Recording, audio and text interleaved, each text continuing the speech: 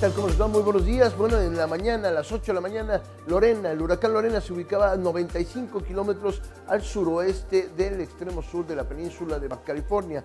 Quiere decir que, de acuerdo a su desplazamiento de 15 kilómetros por hora, va a arribar a esta zona en aproximadamente 6 horas. Y es ahí donde tengo el pronóstico para Cabo San Lucas, vientos de 50 a 60 kilómetros por hora con rachas superiores a la 1 de la tarde. Pero más tarde los vientos se incrementan hasta 80 kilómetros por hora con rachas superiores y por supuesto la lluvia fuerte va a estar presente no solo afectando a Cabo San Lucas y a San José del Cabo, sino también en La Paz, en el lado del Mar de Cortés, ahí tendremos también mucha lluvia. Va a llover también en Tepic, en Durango, en Culiacán, en la ciudad de Chihuahua tengo un pronóstico de lluvia, en Hermosillo sin lluvia, Tijuana sin lluvia, Mexicali sin lluvia, Monterrey, Nuevo León 33 grados sin lluvia para todo el fin de semana, Reynoso y Matamoros también caluroso, Guadalajara, Jalisco, la Perla Occidente, lluvia a partir de las 5 de la tarde durante un espacio de unas 4 horas tendremos lluvia intermitente, 25 grados. Nuestra Ciudad de México bajan las probabilidades de lluvia, pero sí se va a dar en forma intermitente y muy dispersa. 25 grados es el promedio para el fin de semana. Por último,